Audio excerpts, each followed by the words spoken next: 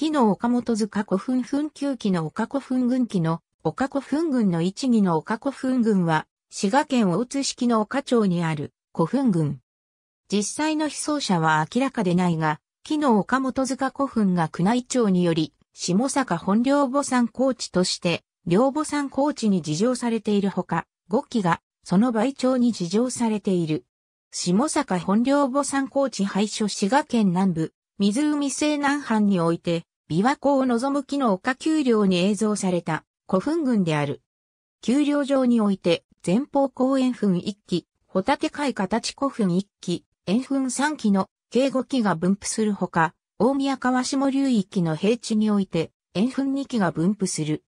古墳群のうち最高所に位置する本塚古墳は、墳丘長73メートル、高さ10メートルを測る、ホタテ貝形古墳である。墳丘は二段築成。墳丘表面では、吹き石が認められるが、埴輪は検出されていない。東側の円墳3基は本古墳の倍長とする説がある。被葬者に関しては、時期は異なるが大和姫とする伝承があり、宮内庁により両母山高地に事情されている。また丘陵城西南に位置する茶臼山古墳は、墳丘長84メートル、高さ6メートルを測る前方後円墳である。墳丘は一段築成。墳丘表面では、吹き石が認められるほか、少量の埴輪が認められる。主体部の埋葬施設は、木管時下層か粘土核と推定される。1978年の前方部北側における発掘調査では、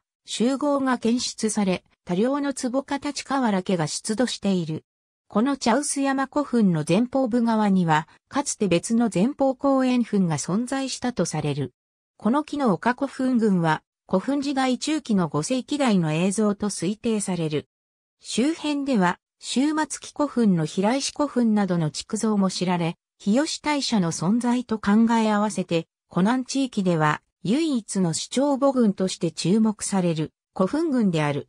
木の岡本塚古墳に関するカテゴリー。木の岡茶臼山古墳に関するカテゴリー。ありがとうございます。